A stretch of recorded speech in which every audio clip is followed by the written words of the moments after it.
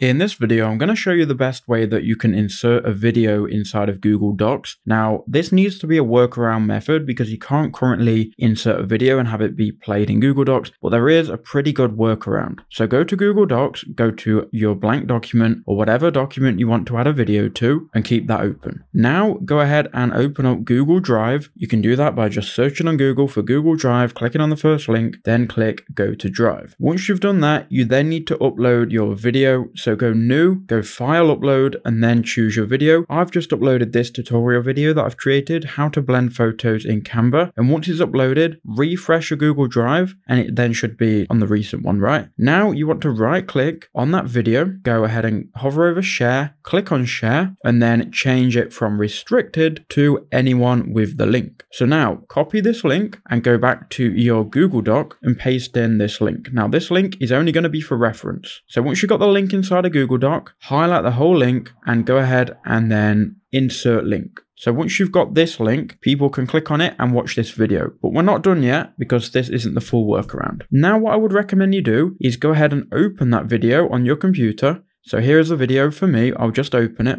In this video, now once I've got the video open, I'm just going to take like a screenshot of this video window. So we'll go ahead and go to the search tool and I'll just search for snipping tool. Now we can click new and I'm just going to go ahead and just kind of like take a screenshot of the video window and that's going to then copy it to my clipboard automatically. From here, we can go ahead and go to our Google Doc and paste in that screenshot. So here you can see here is that screenshot and it just looks a bit better, right? So now go back to the link that we copied earlier, go ahead and highlight all of it, click cut, and then click on the screenshot. Now right click, insert link, and then paste in the link that you've just cut. Then click apply. And now this video screenshot will now go to the video, right? Now you can share your document so now when everyone goes to your document, they can see your document. And if you just put a note here saying click on the image below or watch this video, they can click on it and they can go straight to the MP4 video and then watch it. So that's the best way really to insert a video in Google Docs.